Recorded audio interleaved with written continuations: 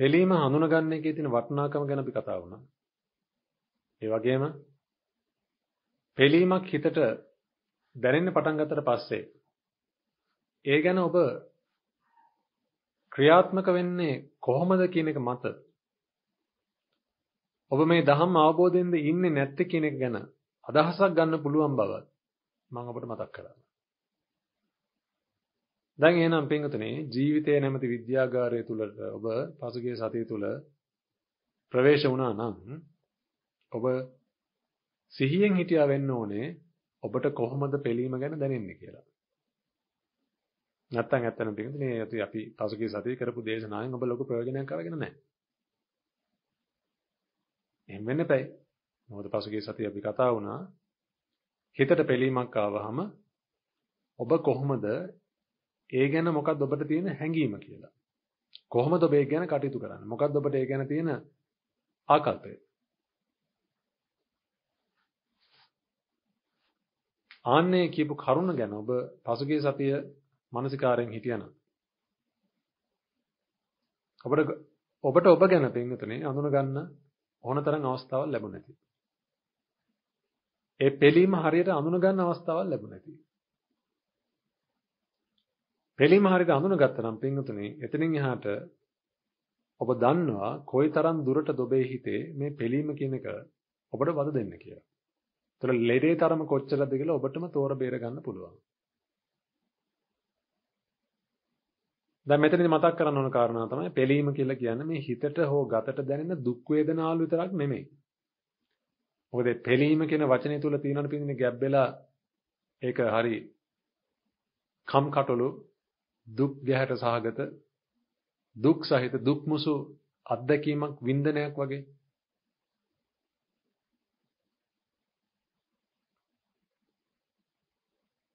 ඒක එහෙම නැතුව නෙමෙයි නමුත් ඔබ දුක් වේදනාව කියන එක විතරක් ඒකට ඇඳගෙන හරියන්නේ නැහැ.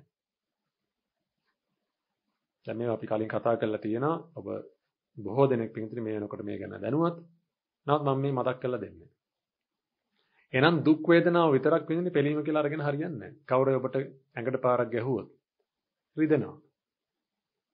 ඒක විතරක් පිළීම කියලා අරගෙන හරියන්නේ නැහැ. කවුරු ඔබේ හිත රිදෙන්න මොනවා හරි වචනයක් කිව්වොත් ඔබේ හිත රිදෙනවා. අන්න ඒක විතරක් පිළීම කියලා හරියන්නේ නැහැ. එතකොට ඔබට හිතෙනවා පින්තුනේ මම සමහරක් වෙලාවට පෙළෙනවා අනික් වෙලාවට නම් මට පිළීමක් නැහැ කියලා. ඒ කියන්නේ පින්තුනේ ඔබ හරියට පිළීම කෙනෙක් අඳුරගෙන නැහැ. මොකද තණ්හාව නිසා නම් පෙලෙන්නේ ඒ කියන්නේ අනික් වෙලාවට ඔබේ හිතේ තණ්හාව නැහැ. ඒක වෙන්න එපා ඔබ එහෙනම් අදහස් කරන්නේ. හිතක යම් වෙලාවක තණ්හාව නැත්තම් පින්වතුනේ ඒකට හේතුව තණ්හාවට හේතුව එතන නැතිවීම. ඒ කියන්නේ අවිද්‍යාව නැහැ. යම් හිතක පින්වතුනේ යම් මොහතක අවිද්‍යාව තණ්හාව කියන දෙක නැත්නම් එහෙනම් ඒක බුදු බවට පත් වෙච්ච හිතක්. එක්කෝ සම්මා සම්බුද්ධ නැත්තම් පච්චේක බුද්ධ නැත්තම් අරහත් බුද්ධ. ඕම් ඔය තුන්තරා බෝධියටපත් වෙච්ච හිතක තමයි තියෙන්නේ අවිද්‍යාව තෘෂ්ණාව කියන එක සහ මුලින්ම නැති වෙන්නේ. ආන් ඒ නිසා මම ඔබට කියන්න පින්නේ පෙළෙන පෙළෙනවා කියලා කියන එක ඔබ දුක් වේදනාවෙන් විතරක් අල්ලගෙන හරියන්නේ නැහැ. මේ ඇඟට ගහනකොට රිදෙන එක හෝ අම්ම මරුණාම දුකයි නැත්තම් ඔබේ හුරතල් බල්ල මලහම දුකයි නැත්තම් දුව කොල්ලෙක් එක පැනලා ගියාට පස්සේ ඒක දැනගත්තාම දුකයි. ওই ටික විතරක් තේරුම් පෙළීම කියලා තේරුම් ගත්තොත් ඇත්තටම ඔබ තව ගොඩක් ඉස්සරහට යන්න ඕනේ. දැන් ඒකෙන් කියන්නේ ඔබට නිවන කරගන්න බෑ කියලා. මං කිව්වේ තව ඉස්සරහට යන්න ඕනේ කියලා එච්චරයි. දැන් කවුද උතන ඉන්න ඕනේ ඉස්සරහට යන්න නැති අය? ඒ කියන්නේ පෙරහැරේ දැන් කෙලිම ධාතු කරඬුව තමයි හිස් මුදුනේ තියන් ඉන්නේ. අන්න ඒ අය නම් තව දුරටත් ඉස්සරහට යන්න ඕනේ නැහැ. ඒ කියන්නේ බුද්ධත්වයට පත් වෙලා. නම් තව ඉස්සරහට යන්න ඕනේ නැහැ පින්වතුනි. එතකොට ගමන ඉවරයි. එහෙනම් ඔබ අපි හැමෝම පින්වතුනි තව ඉස්සරහට යන්න ඕනේ. මම අපිට මතු කරලා පෙන්නන්නේ පින්වතුනි. පිළීම කියන එක හරියට තේරුම් ගන්න ඕනේ. මොකද ගොඩක් මිනිස්සුන්ගෙන් අර මං දේශනාව පටන් ගන්නකොටම සඳහන් කරේ යම් යම් කාරණාවක් පින්වතුනි. මේ දහම ඔබට ගෝචර වෙන්නේ මේ ජීවිතේ දුකෙන් හරි ඔබට නිදහස් වෙන්න ඕන කියලා අදහසක් පහළ වෙච්ච දවසේ ඉඳන්. ජීවිතේ දුකයි. ඒ කියන්නේ මේ දුක් වේදනාව. සරලව දුක් වේදනා ගැහුවාම රිදෙනවා. කවරද බැන්නොත් හිත රිදෙනවා. කන්න ගියාම කෑම ඉවරයි නම් හිත රිදෙනවා. බඩගිනි ඒ ඔක්කොම. ඒ බඩගින්න ගැන හට ගන්නවා මානසික පීඩාවක්. ඒ වගේ මේ කායික පීඩාව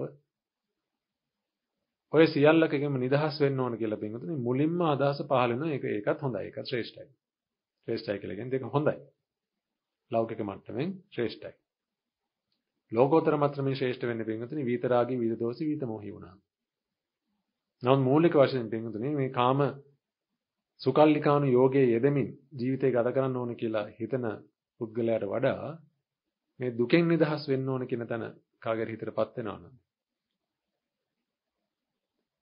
අන්න ඒ තැනත්තා ඇත්තටම ගොඩක් මේ මේ ගමන ඉස්සරහට ආපු කෙනෙක්. නමුත් මම දැන් ඔබට කියන්න පිළිඳුනේ එතනත් පහු කරලා ගොඩක් ඉස්සරහට ආපු පිරිසක් විදිහට පිළීම කියලා කියන එක හිතට දැනෙන දුක් වේදනාව සහ ගතට දැනෙන දුක් වේදනාව ගැන විතරක් කියලා ගත්තොත් ඒක සම්පූර්ණ නැහැ.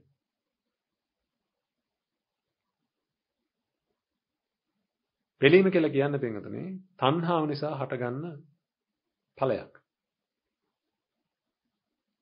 එහෙනම් Tamanට ඕන දේ තිබ්බද නැද්ද කියන එක පින්වතුනි පිළීමත් එක්ක අදාළත්වයක් නැහැ ඇත්තටම.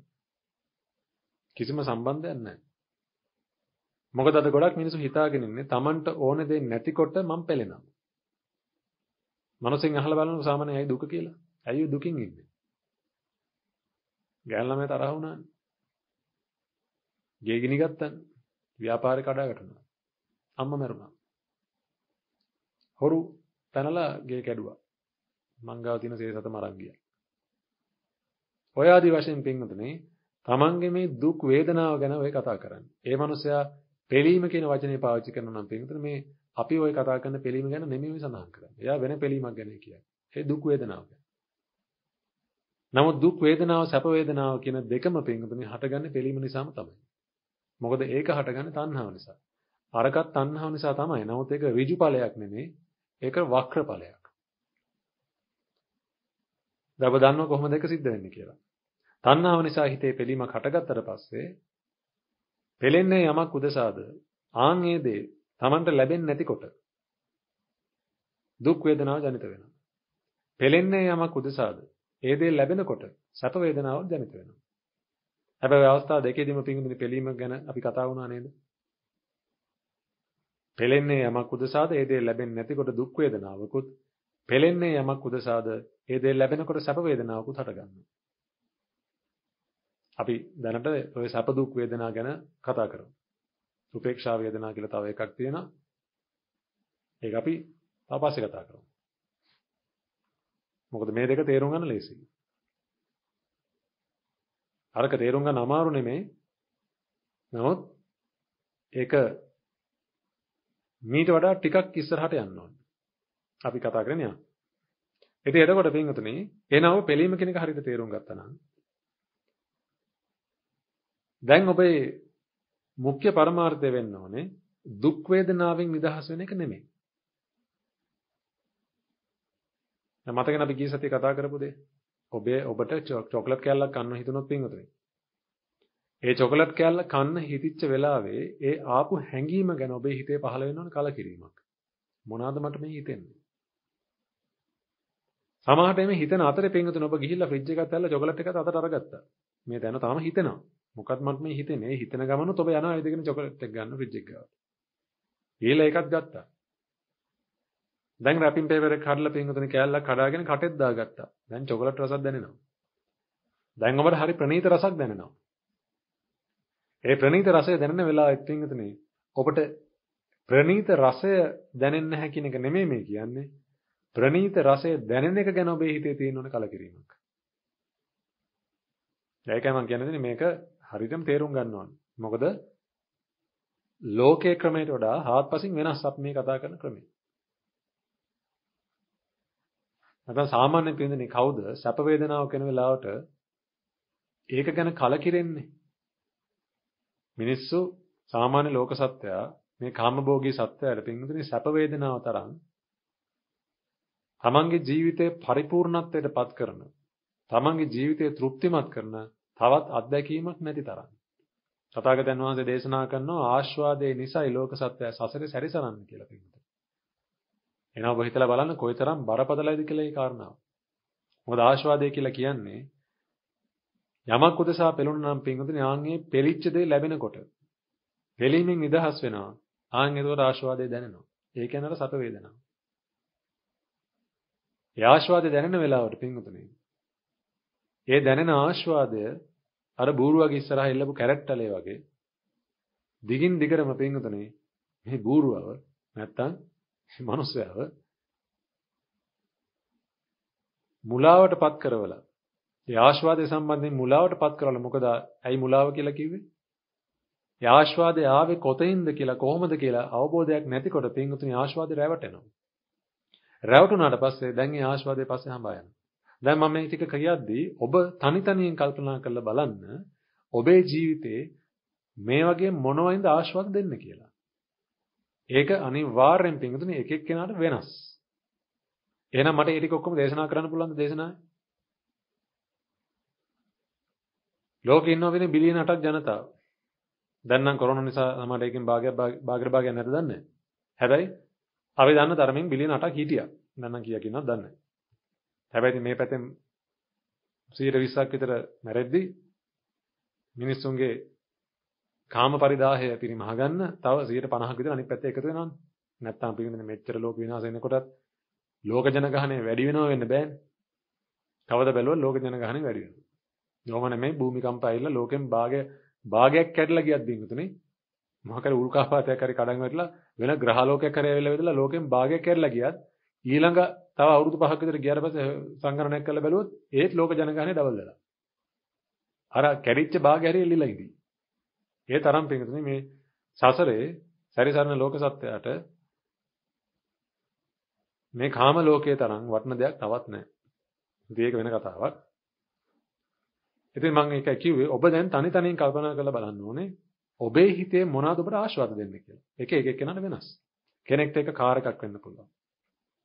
තව කෙනෙක්ට ඒක කේක් කෑල්ලක් වෙන්න පුළුවන්. තව කෙනෙක්ට අතේ බඳින ඔල්ලෝසුවක් වෙන්න පුළුවන්. තව කෙනෙක්ට මේ ඉස්සරහා තියලා තියෙන මල් පෝච්චිය වෙන්න පුළුවන්. තව කෙනෙක්ට සින්දුවක් වෙන්න පුළුවන්. තව කෙනෙක්ට ගෑනු ළමයෙක් වෙන්න පුළුවන්. තව කෙනෙක්ට අහසේ තරු දිහා බලන් ඉන්න එක වෙන්න පුළුවන්. තව කෙනෙක්ට කුරුල්ලන්ගේ කීචි පීචි නාදය වෙන්න පුළුවන්. දැන් ලිස්ට් එකක් කියලා ඉවර කරන්න පුළුවන්ද අපිට? ලෝකේ යම් තාක් දේවල් තියෙනවා නම් පින්විතනි ඒ සියල්ලක්ම පෙළෙන සුළු දේවල් කියලා කිව්වේ අන්න ඒකයි. මොකද ඔය හැම දෙයක්ම කොහොමත් පින්විතනි මේ ලෝකෙට නිර්මාණය වුණේ කවදා හරි දවසක් හිතක් ඒ වෙනුවෙන් පෙලිච්ච නිසා. මේ ලෝකෙට කිසිම දෙයක් කවදාකවත් පින්න නිර්මාණය වෙලා නැහැ. පෙලීමකින් නිදහස් වීම කියන කාරණාව හැරුණකොට වෙන දෙයක් උදෙසා. නමුත් තේරුම් ගන්න මේ කියන දේවල්. ටිකක් ගැඹුරු වෙන්න පුළුවන්. නමුත් ඔබ හොඳ අවධානයෙන් අහගත්තොත් ඉතින් ඔබට මේවා තේරෙනවා. කිසිම ප්‍රශ්නයක් නැහැ. මොකද ඔබ පින්බර පිරිසක්. ඒකයි මම කිව්ව පින අදිෂ්ඨාන කරගෙන මේ ටික අහගෙන යන්න ඉස්සරහට. එහෙමනම් පින්වතුනි මේ ලෝකෙට කිසිම දෙයක් නිර්මාණය වෙලා නැහැ. නිර්මාණය වෙන්නෙත් නැහැ. අතීතේ වුණෙත් නැහැ, වර්තමානෙත් නැහැ, අනාගතේ වෙන්නෙත් නැහැ. පින්වතුනි කිසිම දෙයක් මේ ලෝකෙට නිර්මාණය වෙන්නේ නැහැ. පෙලීමකින් නිදහස් වීම උදෙසා විනා වෙන හේතුවක් උදෙසා. එහෙනම් යමක් මේ ලෝකෙට පහළ වුණා නම් පින්වතුනි, ඒ පහළ වුණේම පෙලීමකින් නිදහස් වෙන්න.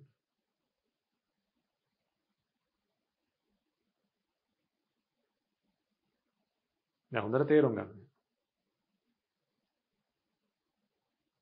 පෙලීමක් නිසාමයි ඒව හටගත්තේ. දැන් අපිට මේ වටපිටාවේ පේන්න තියෙන හැම දෙයක්ම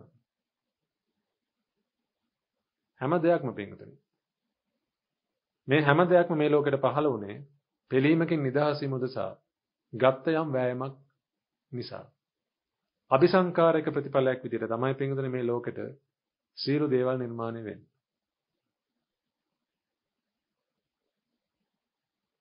ඒ කියන්නේ ඇත්තටම හිතකින් තමයි පිළින්නේ මේ හැම එකක්ම නිර්මාණය කරන්නේ.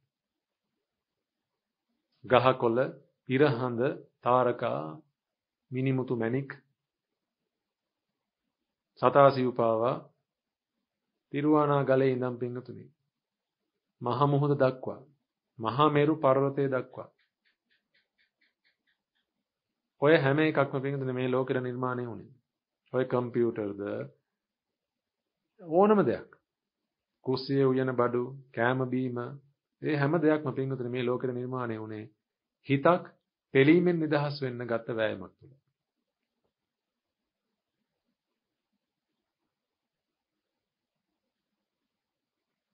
ඍජුවම නොවුනත් වක්‍රවෙන් වක්‍රෙන් හරි.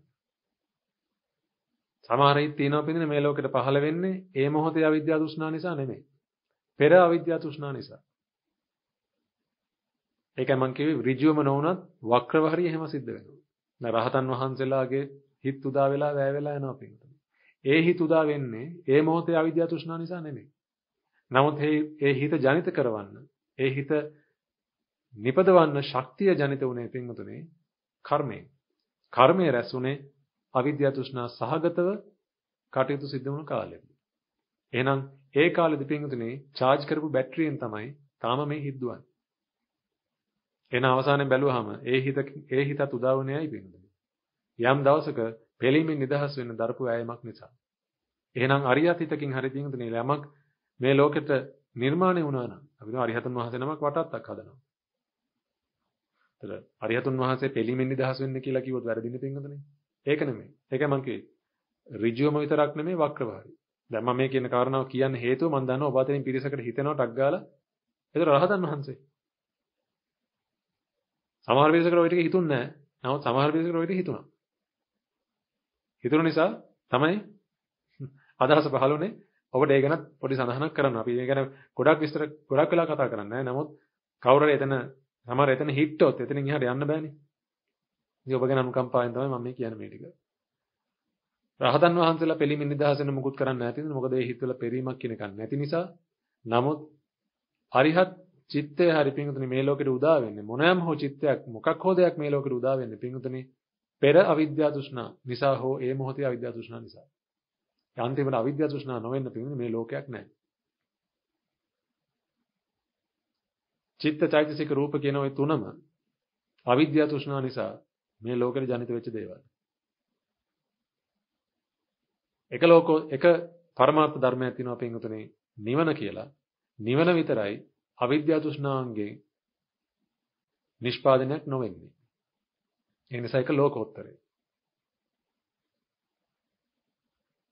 ඒක ලෝකෙන් ඈතර. එහෙනම් ලෝකෙට අයිති යමක් තියෙනවා නම් ඒ සියල්ලක්ම පින්වතුනි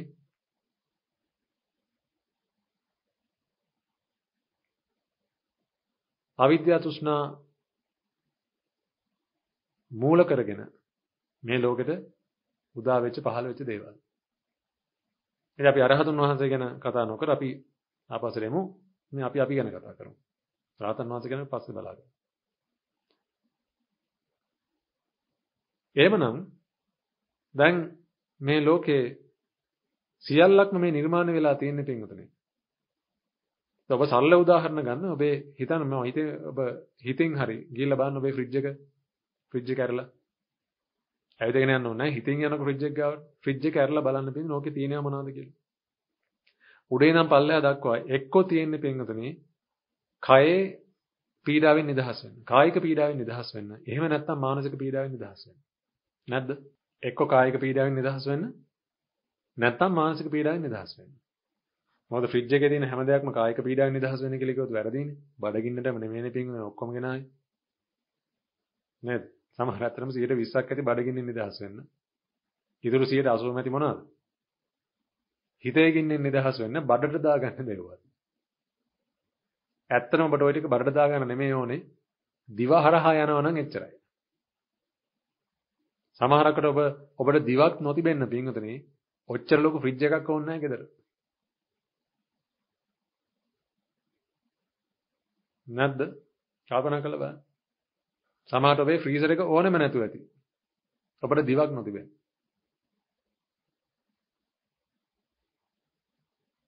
හොඳට කල්පනා කරලා බලන්න.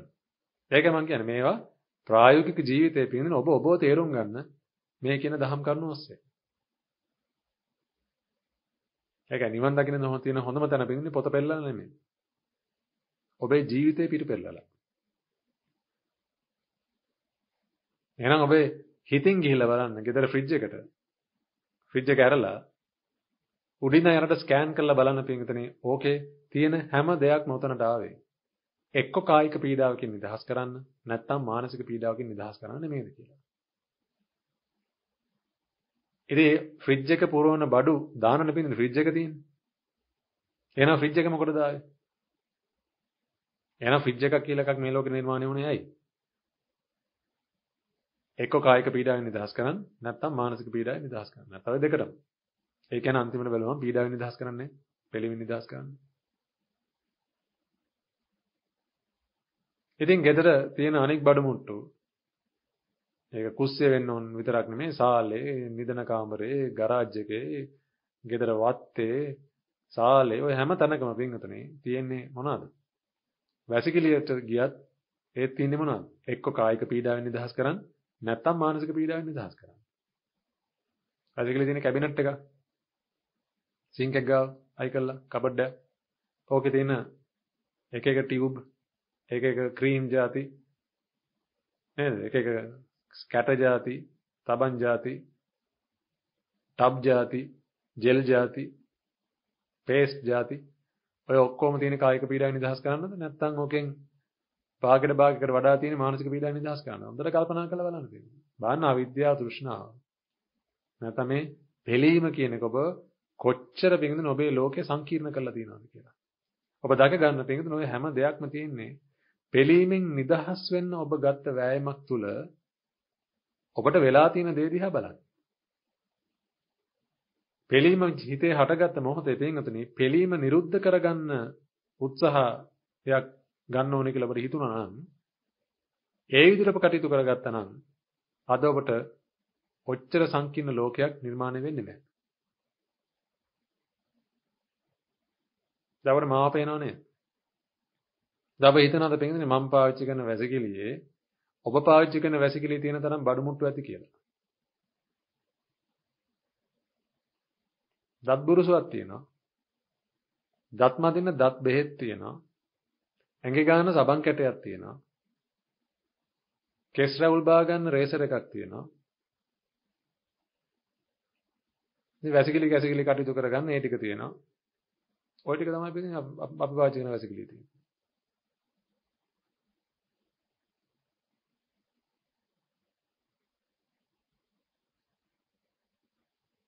නැත්නම් ඔබ බලන්න කල්පනා කරලා ඔබ පාවිච්චි කරන වැසිකිලි ඔබ පාවිච්චි කරන වැසිකිලියේ පින්නුතුනේ මම මේ කියන්නේ සාල ගැන නෙමෙයි.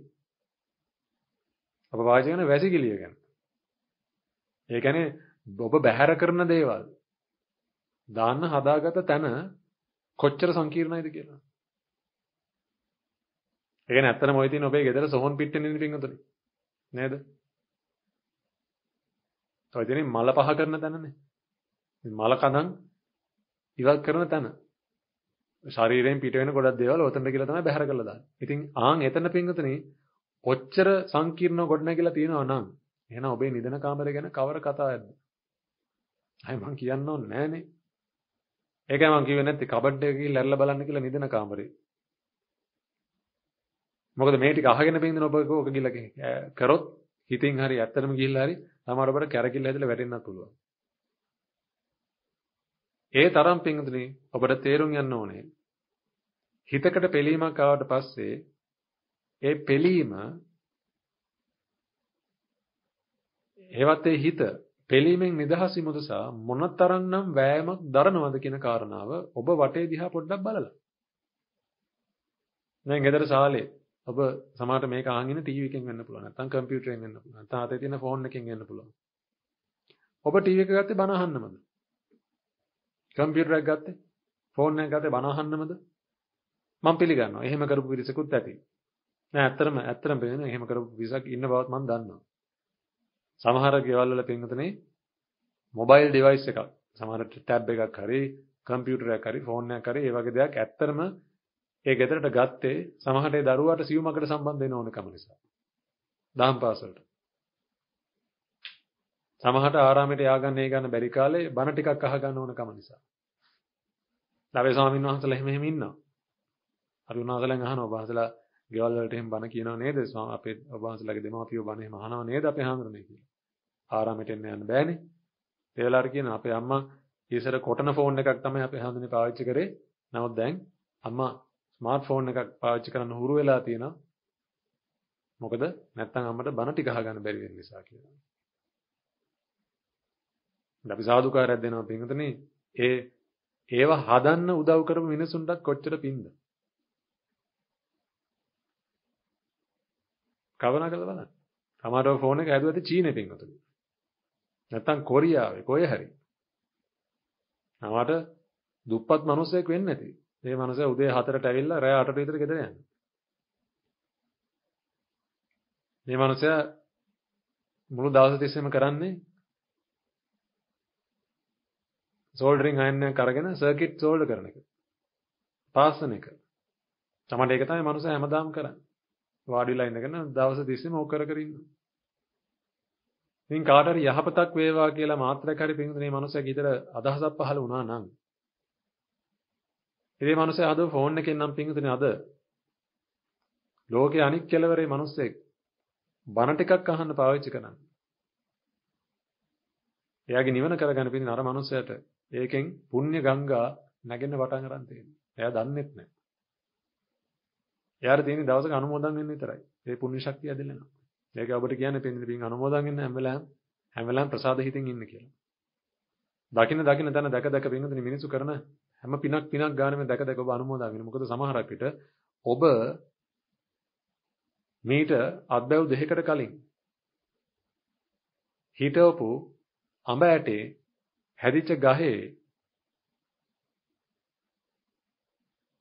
ආපු ගෙඩි වලින් වෙන්නේ නැති අද මිනිස්සෙක් අඹ මාළුවක් හදලා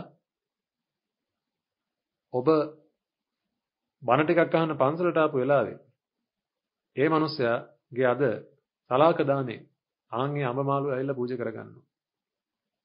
ඔබ ඒක දිහා බලලා සාදුකාරය දෙන අනේ සාදු සාදු මොන බලන් මොනතරම් යහපත් මේ මිනිස්සෙට මේ පිනක් කරගෙන මහා සංඝරත්නයට දානයක් පූජා කරන්න අදහස් පහළ වෙලානේ. කවුරු හරි කමක් නැහැ මේකට අතහිත දුන්න සීල දනාටම. අප්‍රමාණ පින් ජනිත වේවා කියලා ඔබත් අදිෂ්ඨාන කරනවා පින්වතුනි. දැන් මේ ප්‍රත්‍ය ඔබටම අනුමෝදන් කරගන්න අවස්ථාව සැලසෙලා වෙලා තියෙනවා. ඒ දානේ පූජා කරගන්න මනුස්සයත් ප්‍රත්‍ය අනුමෝදන් කරනවා. ඔබත් සමහරට ඒක දැකලා පින්ගෙන අනුමෝදන් වෙනකොට ඒ අඹගහ පැල කරලා තින්නේ ඊට අත්බැව් දෙකකට කලින් ඔබ.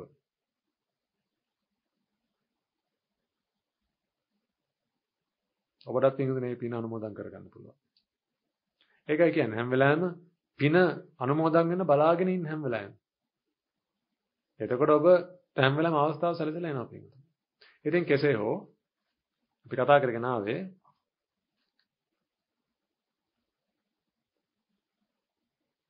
ගෙදර තියෙන ටීවී එක පින් ඔබ ගෙනාවේ බණ අහන්නමයි කියලා කියන්න පුළුවන් බොහොම අතලොස්සක් ඇති.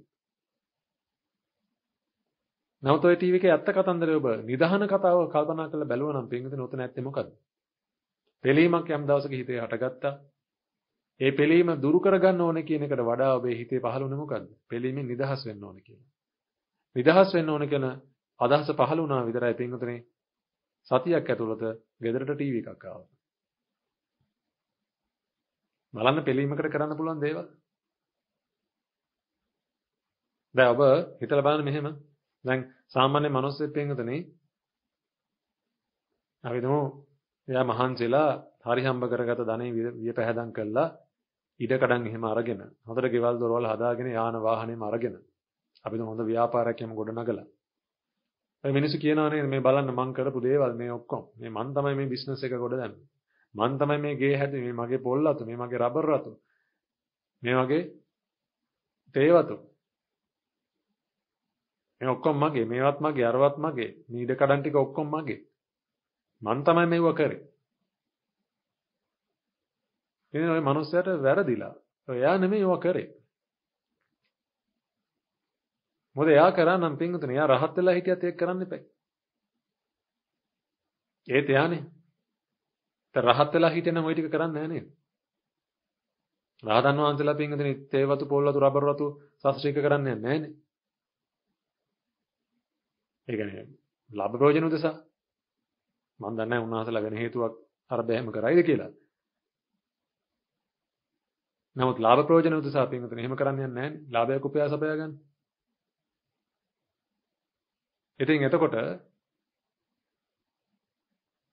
එහෙනම් මේ මමයි මේ ටික කරේ මමයි මේ හැදුවේ මේ ඔක්කොම මම කරපු දේවල් කියලා කියන කතාව පින්දුනේ ඇත්තටම හරිද වැරදිද? වැරදි ඒ කතාව. ඇත්තටම කවුද ওই ටික කරේ? ඔය ටික කරේ වෙන්නේ පිළීම. හිතේ පීඩාවක් ආවා. ඒ පීඩාව ආවට පස්සේ නිදහස් වෙන්න ඕන. මොකද හිතකට පිංගුදෙන පීඩාව හටගත්තට පස්සේ හිතට පීඩාවෙන් නිදහස් නොවි ඉන්න බෑ. මොකක් හරි ක්‍රමයකින් නිදහස් වෙන්න ඕනේ. නිදහස් වෙන්න දරන අරගලය තුල තමයි පිංගුතුනේ ඔය ඔක්කොම දේවල් මේ ලෝකෙට නිර්මාණය වෙලා ඇවිල්ලා තියෙන්නේ. ඒකම ඔබට කියන්න පිංගුතුනේ පොඩ්ඩක් වටපිට බලන්න. ඔබට ඇත්තටම ආඩම්බර වෙන්න දේවල්ද ඔය ගෙදර තියෙන්නේ කියලා. එහෙම නැත්නම් අවංකවම කියනනම් පිංගුතුනේ ලැජ්ජ වෙන්න ඕන දේවල්ද කියලා. දැන් ඔබට මම මේ අහන ප්‍රශ්න උත්තරය දෙන්න. ඔබට පුළුවන් ද පින්වතුනි ඔබ අපි තුන් අලුතෙන් ගෙයක් ගත්තා. නැත්නම් අපි තුන් ඉන්න ගෙදර ඔබ පිළිසකර කරගෙන අලුතෙන් තව තට්ටුවක් එකතු කරලා තව ඇටච් මොකක් හරි ඇනෙක්ස් එකක් එහෙම හදාගෙන මොකක් හරි අලුතෙන් තීන්ත ගාලා ඔක්කොම කරලා හරි නැත්නම් අලුත් අලුතෙන් අරගෙන හරි නැත්නම් අලුත් වාහනයක් කරන මොකක් හරි වෙනසක් කරගෙන ඔබේ ඔබ ඉන්න හිටන තැන යාළුවෝ කට්ටියක් එහෙම ගෙන්නගෙන පිටින් ඔබ වටේ යනවා කිය කියා මේ මං ගත්ත කාර් එක මේ ෂෝප් මේ වාහනේ දෙපැත්ත දොරත් ඇරෙනවා මේ වහන්නත් පුළුවන් මේ බාන මේ මං ගත්ත ගේ මේ තට්ටු දෙකයි මේකේ. මේ මේ වැදෙන ස්පයිරල් ස්ටෑර්කේස් එකක් තියෙන. ඔබ ওই ටික කියන්නේ නැතුව ඔය බොරු නෙවෙයි කියන්නේ. අපිට පුළුවන් ඇත්ත කතාව කියන්න. යාළුවෝ ටික කරෙන්න කියලා. ඔබ කියනවා මේ මම පෙළුණානේ. මම මට පුදුම පෙලීමක් තිබ්බේ. ඒ පෙලීමෙන් නිදහසෙන් මම කාර් එකක් ගත්තානේ මේ. මේ බන්නේ මම පෙලීමෙන් නිදහසෙන් ගත්ත කාර් එක. ඊට පස්සේ මේ අපේ ගෙදර මේ එක තට්ටුවටනේ තිබ්බේ. ඊට පස්සේ මේ ඇනෙක්ස් එකක් එහෙම තිබ්බේ නෑ ඉස්සර. ඊට පස්සේ මම පෙලෙන්න පටන් ගත්තා. ඒ පෙලෙන්න පටන් ගත්තට පස්සේ මම පෙලීමෙන් නිදහසෙන් තව ඇනෙක්ස් එකක් හදාගත්තා. ඊට පස්සේ ඇටච් බාත්රූම් එකක් එම තිබ්බේ නැහැ ඉස්සර. අපි දැන් 70ක් විතර ඉඳන් යන්න ඕන වැසිකිලි යන්න. ඊළඟ හොඳ අපි හොඳටම පෙළුණා ඒක ගැන. ඊට පස්සේ පෙලීමේ නිදහසන මොකද දන්නව කරේ? අපි ලෝන් එකක් දාලා ඊට පස්සේ මේ මේ ඇනෙක්ස් එක හදාගත්තේ. මේ ළඟදී මේ පෙලීමේ නිදහසුනේ මේ ඊයේ පෙලීමේ නිදහසුනේ. ඈ ඊට පස්සේ මේ මේ සාලේ මැද තියෙන මේ මල් පෝච්චිය තියෙන මෙතන එකක් තිබ්බේ නැහැ ඉස්සෙල්ලා. නමුත් දන්නවද වැඩක්? අපි ගියානේ යාළුවෙක් ගෙදර. ඊට පස්සේ මෙතන ඒ ගෙදර තියෙන මල් පෝච්චිය දැක්ලා හොඳටම පෙලෙන්න පටන් ගත්තා. ඒ පෙළෙන පටන් ගත්තට පස්සේ ගෙදර එනකන් ඉවසීමක් තිබ්බේ නැහැ. ගෙදර ඇවිල්ලා ඉක්මනට දුවලා ගිහිල්ලා මල් ටිකක් අරගෙන ඇවිල්ලා පෝච්චියක් අරගෙන මෙතනින් තියලා පෙළීමෙන් නිදාසුනේ. නැත්තම් මේ අදටත් පෙළි පෙළි ඉන්නේ. පුදුම පෙළීමෙන් හිටියේ. දැන් ඔබට පුළුවන් දෙන්නේ ඔන්න ඔය ටික කියන්නේ ඔය ඇත්ත කතාව කියන්න පුළුවන්. ඔය වගේ. දව යාළුවන්ට එන්න කියලා පෙන්නනවා. මේ මේ ටීවී එක මේ අඟාලට වායි මේක. මේක 3D බලන්න පුළුවන් මේකේ. දැන් ඔය ටික ඔබ කියනනේ යාළුවෝ එක විතර කියලා. යාළුවොත් එක්ක ඇවිල්ලා ඔබ යාළු ටීවී එකෙන් පෙන්නනවා. දැන් ඔබට පුළුවන්ද ඇත්ත කතාව කියන්නේ යාළුවාට? යාළුවා මං හොඳින් හිටියා. කිසි ප්‍රශ්නයක් තිබ්බේ නැහැ. ඊට පස්සේ මං පෙළුණනේ පුදුම පෙලිල්ලක්. අර ටීවී එකේ ටීවී එකක් තිබ්බේ නැහනේ. ඇඩ් එකක් මං දැක්කා. පත්තරේ. ඒ ඇඩ් එකේ තිබ්බ අඟල් 65 ටීවී. ඒක දැක්කට පස්සේ මං පෙළුණා පුදුම පෙලිල්ලක්. ආයි ඒක ගෙදර ගේනකම් මට නම් නිින්ද ගියේ නැහැ. ඊට පස්සේ මම මොකද දන්නවද කරේ? මං ගිහිල්ලා බැංකුවට ගිහිල්ලා ලෝන් එකක් කිල්ලුවා. ලෝන් එක දෙන්න බෑ කිව්වා. මං ඇඬුවා. පෙරලි පෙරලි ඇඬුවේ ඒ බැංකු මැනේජර් ගාව. අනේ මහත්තයෝ මං පෙලෙනවා පුදුම විදිහට. ඔබතුමා ඇයි මට මෙහෙම කරන්නේ? මම පෙලීමෙන් නිදහසෙන් මම මේ ආවේ. හිංගා කාපු නැති ටික විතරයි යාළුවා. ඊට පස්සේ කොහොමද මට ලෝන් එක දුන්නා. මම මේ වෙලාවේ පෙලීමෙන් නිදහස නම් පුදුම නිදහස් විල්ලා. පාටියකුත් දැම්ම ගෙදර ඇවිල්ලා. ඒ නිදහස් වෙලදී නිදහස් විල්ලට. නිදහස් දිනේ සැමරුවා වගේ සමානයි මට එදානම්. ඊට පස්සේ ඒ සල්ලි ටික දීලා තමයි මේ ටීවී එක ගෙනාවේ. පෙලීමෙන් නිදහස් වෙන්න. දැන් නම් පුදුම නිදහසක් දැනෙන්නේ යාළුවා. ඉතින් ඔන්න ඔය ඇත්ත කතාව අපිට කියන්න පුළුවන්ද? ඕක නෙමෙයි ඇත්ත කතාව. ඇත්තටම කියනවා නම් පිටින් ගෙදර ටීවී එක නෙමෙයි ගෙදර නෝන පෙන්නලත් අපිට ඔය ටික නේද කියන්නේ? නැද්ද? නෑ ඇත්තටම කියනදනේ මගුල් ගෙදරදී හ්ම්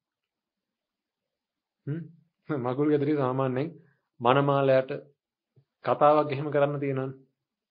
සාමාන්‍යයෙන් සමහර කොටක් සංස්කෘති වල එහෙම තමයි. මනමාලයට කතාවක් කරන්න දෙනවා. නැත්තම් කවුරු එතන ඉන්න බෙස්මන් හරි දෙවෙනි මනමාලයට කාටට කතාවක් කරන්න දෙනවා. ඇත්ත නම් කියනදුනි ඇත්ත ඔය ඇත්ත කතාව නෙමෙයි නේද ඔය කරන්නේ. හරිනම් මොකද කියන්න ඕන? පින් පින්වතුනි කියන්නේ නැහැ මගුල් ගෙදරදී. පින්වතුන් මගුල් ගෙදරට යන්නේ නැහැ නේ. පින්වතුන් පන්සලට නෙන්නේ. මිත්‍රවරුනි මේ ගැහල්ලා මෙදක වෙලා මම පුදුම විදිහට පෙළුණා. මට කන්න අඳින්න ජීවත් වෙලා වැඩක් නැහැ. ඒ තරමට මම පෙළුණා. මට කාලා ඉන්න බැරි වුණා. ඊට පස්සේ මම මොකද කරේ? ඒ පිළිමින් නිදහස් වෙන්න මං එයාව ගෙදර එක්කන් ආවා. මං එයාව කසාද බඳින්න ඕන කියලා මං ඇහුවා. ඒ වෙලාවේ යා හා කියලා මාව පුදුම විදිහට පිළිමින් නිදහස් කරා. අද මම පිළිමින් නිදහස් වෙලා ඉන්නේ.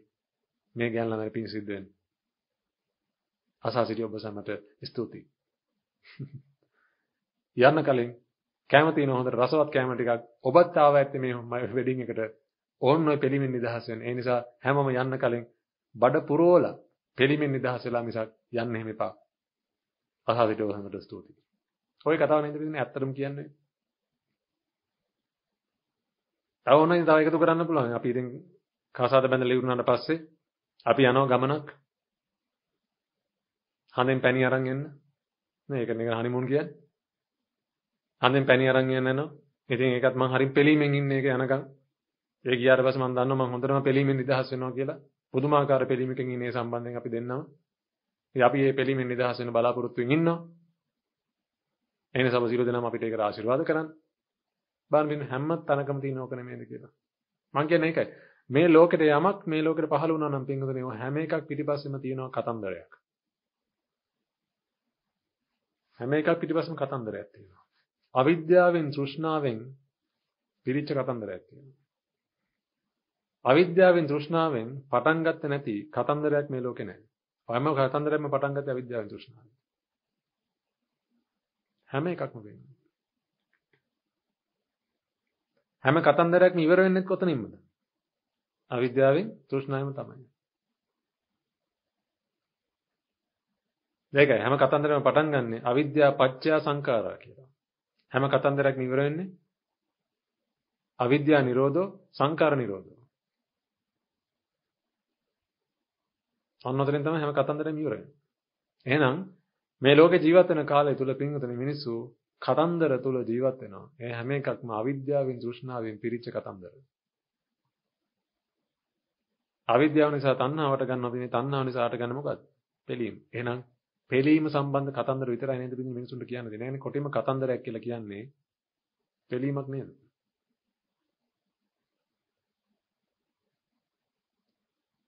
ඇත්තට මේ ලෝකේ හැමතැනම දකින්න දෙන්නේ මොනවද? පෙළීම විතරයි නේද?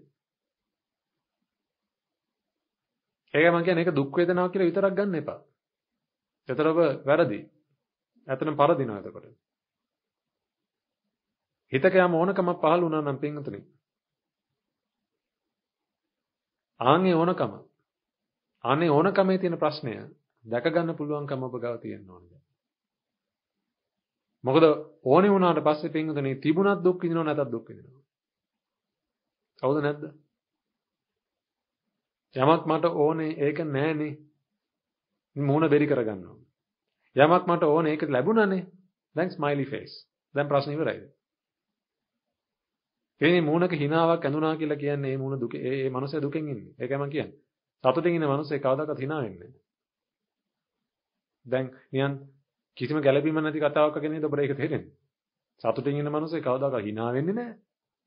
මොනවද අපේ හඳුනන්නේ කියන්නේ? සතුටින් ඉන්න මිනිස්සු හැම වෙලාවෙම hina වෙලා ඉන්නේ. පෙන්නේ hinaවක් කියලා කියන්නේ මොකද්ද? පෙලීමෙන් නිදහස් වීමක් නේද? ඉතින් පෙලීමෙන් නම් නිදහසුනේ කොහොමද සතුටින් ඉන්න මනුස්සයෙක් පෙලෙන්නේ? එහෙනම් යා සැබෑ සතුටක් තුළ නෙමෙයි නෝ ජීවත් වෙන්නේ. ඔය ඔය ලෞකිකව හදාගත්ත සතුටක් තුළ. ඒ කියන්නේ හිතාගෙන ඉන්න සතුටක් ඔය තියෙන්නේ. මායාකාරී සතුටක්. ඇත්තටම සතුටින් ඉන්න මිනිස්සෙක් පින්වතුනි hina වෙන්න ඕනේ. ඒ කියන්නේ මේ මම කියන්නේ තථාගතයන් වහන්සේලාට පහළ වෙන රහතන් වහන්සේලාට පහළ වෙන මද සිනහව නෙමෙයි. එන හසිතෝපාද චිත්තය ගැන නෙමෙයි මේ කියන්නේ. මම මේ කියන්නේ මිනිස්සෙක් සතුටින් hina වෙන්නේ. කට අරගෙන හක හක ගගා උඩ පැන පැන බිම පෙරලි පෙරලි අද නම් මට හොඳ සතුටු දවසක් මිත්‍රයා කියලා අපි මේ යමක් කියනවා නම් අපි දන්නවා මේ මනුස්සයා පුදුමාකාර පීඩාවකින් ජීවත් වෙන්නේ කියලා. කොහෙන් හරි පින්තුනේ වාසනාවකට ඒ පීඩාවෙන් නිදහස් වෙන අවස්ථාවල් වගේක් ලැබිලා තියෙනවා මේ දවස් තුල. හැබැයි යා දන්නේ නැහැ පින්තුණිය හැම අවස්ථාවකදීම පීඩාවත් මතුවනා කියලා. පීඩාව කොයි තරමටද? ඒ තරමට තමයි පින් නිදහසීමකට ලැබෙන සැනසීම. එහෙනම් සැනසීමේ තරම ඔච්චර නම් පීඩාවේ තරම කොච්චර තියෙන්නද කියලා පිටින් පොඩ්ඩක් කල්පනා කරලා බලන්න. එහෙනම් මිනිස්සේ ගුඩ පැන පැන පිටින් පාටි දාලා හැමෝටම කෑ ගහලා කෑ ගහලා කියන්නේ මේ බයිනෝ නෙමෙයි. බොහොම සතුටින් ප්‍රීති ගෝසා පවත්තලා මුළු ගමටම ඇහෙන්න පින්වතුනි. බජව් දාලා සාද දාලා කටයුතු කරනවා නම් ඒ මනුස්සයා මොනතරම් පීඩාවකින් ඉන්නද කියලා පොඩ්ඩක් කල්පනා කරලා බලන්න. ඒක නේද පිටින් මගුල් ගෙවල් ওই තරම් ලොකු. ওই තරම් ලොකුවට මිනිස්සුන්ව ගන්න ඕනේ ඇයි? ගමටම පේන්න. සමහරක රටටම පේන්න. තල්ලපු ගෙදර මිනිස්සුන්ටත් දැනෙන්න නේද? ඥාතියොන්ට දැනෙන්න තරහ වෙලා ඉන්න අය විශේෂයෙන් දැනෙන්න. ඇයි ඒ? ඒ තරම් පීඩාව. ඔබ තේරුම් ගන්න මේවා. ඉතින් ඔන්න ඔය පිළීමේ ස්වභාවය පිටින් අපි හරියට තේරුම් ගන්න ඕනේ. එහෙනම් දුක් වේදනාව විතරක් නෙමෙයි පීඩාව කියලා කියන්නේ. යම් ඕනකමක් පින්තුනි හිතකට දැනෙනවා නම් ඒ දැනෙන්නේ පිළීම නිසා. තණ්හාව නිසා පෙළෙනවා. පෙළීමෙන් ඒ පෙළීම නිසා පින්තුනි ඕනකමක් දැනෙනවා. පෙළීම නිසා ඕනකමක් දැනෙනවා. දැන් ඒ ඕනකම දැනුණාට පස්සේ ඒ ඕනකමෙන් ඒ ඕන දේ ලබා ගන්න එතනින් එහාට කටයුතු සිද්ධ වෙනවා. ඒවට කියනවා අපි අபிසංකාර කියලා. එහෙනම් මේ ලෝකෙට නිපදුණු හැම දෙයක්ම පින්වතුනි අபிසංකාරයක ප්‍රතිඵලයක්.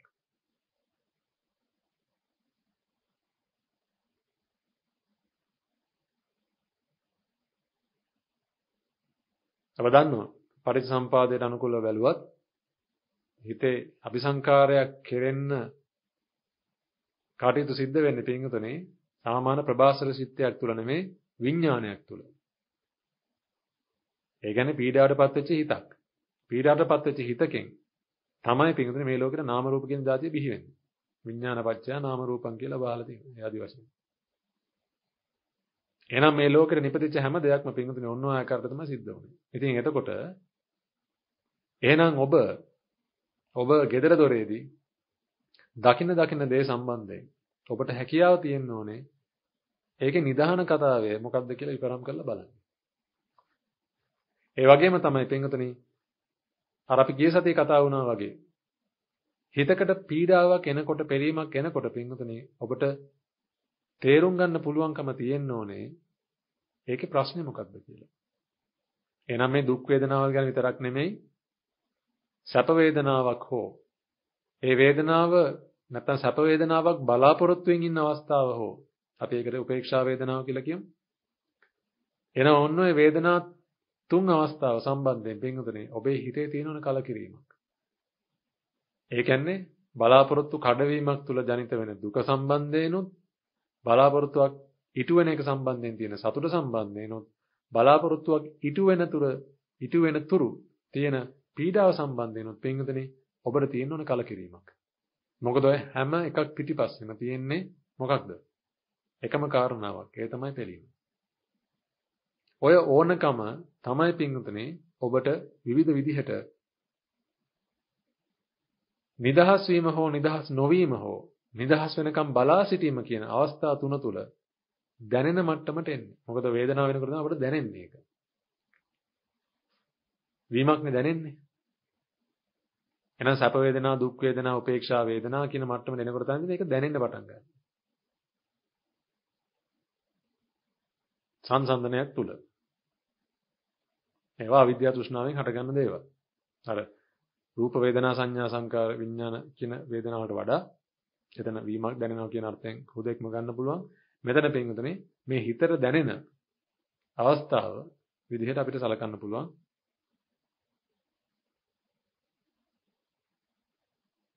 ස්පර්ශය ස්පර්ශයෙන් අනතුරුව. ඒ කියන්නේ ඇහැ රූපය ගැටුණාට පස්සේ යම් සංසන්දනයක් සිද්ධ වෙලා පීඩාවෙන් නිදහස් වුණාද? නැත්තම් නැද්ද? නැත්තම් ඒ පීඩාව නිදහස් වෙන්න තියෙන ඉඩකඩ සම්පූර්ණයෙන්ම නැති වෙලා ගියාද? ඔන්න ඔය කියන අවස්ථා තුන වින්දන අවස්ථාවට එනවා වේදනාව තුන. ඉතින් ওই අවස්ථාවෙන් තුනේ එකක් ඔබට දැනෙන්න පටන් ගන්න පින්දුන ඔබට තේරෙන්න ඕනේ. දැන් නම් පෙරදිලා කියලා. ඔබට ඒ වෙලාවට තේරෙන්න ඕනේ පින්දුනේ. නත්ති මේ සරණං අඤ්ඤං. ධම්මෝ මේ සරණං වරං කියලා. දහම යොදව ගන්න ඕන අවස්ථාව මෙන්න මේකයි කියලා. අපට තේරෙන්න ඕන. මිසක් ඒ වේදනාවත් එක්ක ෆයිට් කර කර ඉන්න නෙමෙයි තියෙන්නේ.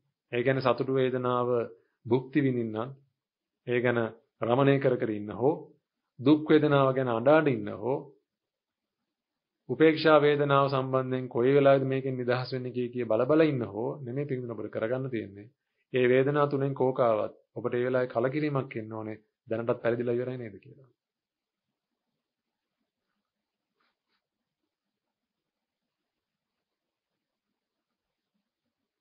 ඒකයි මම කියපෙන්නේ ඔබ සාමාන්‍ය ජීවිතයක් ගත කරනකොට ඔය කියන අවස්ථාවල් ගැන සිහි කල්පනාවෙන් ඉන්න.